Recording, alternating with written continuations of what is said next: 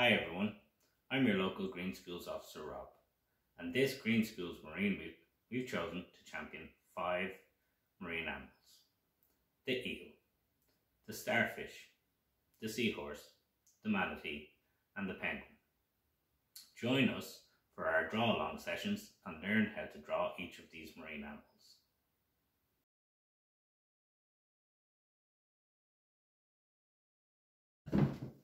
Hi everybody, welcome to our draw along sessions. Today we are going to learn how to draw an eel. Here's one I did earlier just to give you an idea of what it might look like at the end.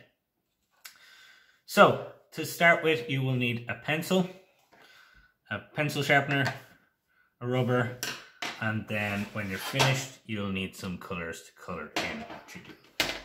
So I am going to use a pen instead of a pencil because it will come up clearer for you guys on the video. So, let's get started. So, we're going to try and use the entire page as much as we can. So I'm going to start right up here and I'm going to do what looks like a big two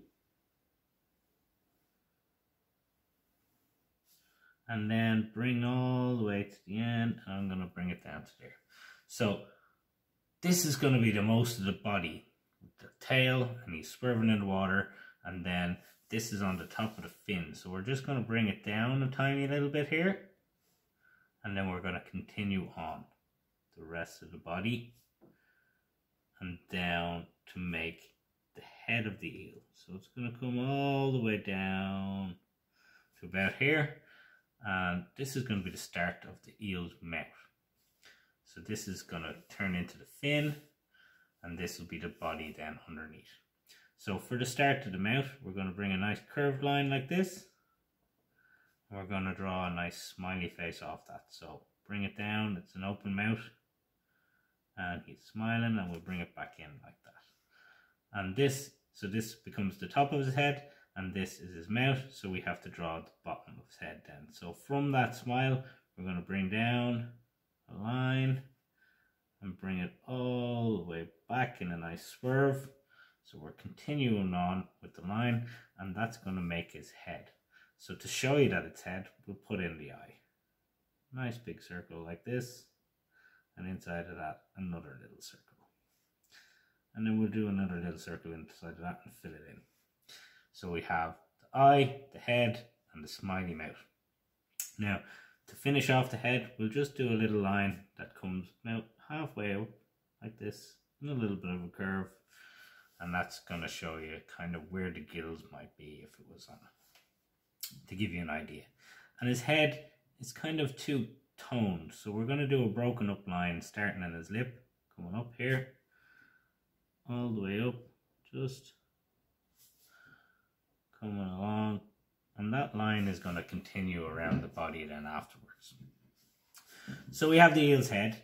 From the bottom of the eel's head, we're going to continue our line on and we're going to make the eel's body. So continuing it all the way across the sheet, all the way along. Past this line here, we're going to continue out of it and then we're going to curve up. So we're going to start to curve all the way up, round, in a big curve all the way because the body twists we're going to continue that curve right the way up until it meets this line that we started. Yeah so that's the most of the body.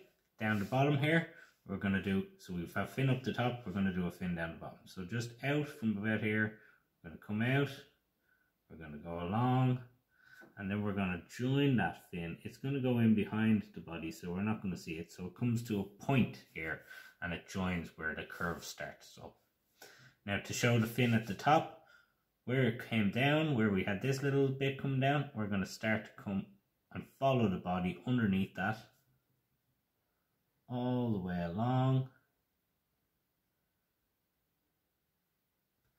And then we're going to swing it right up. So actually we're going to continue right the way across and it joins here and the fin joins a little bit up above. So the body is continued on and the fin has continued on. and we can't see the fin here now. This fin has come around the back and it's coming back up here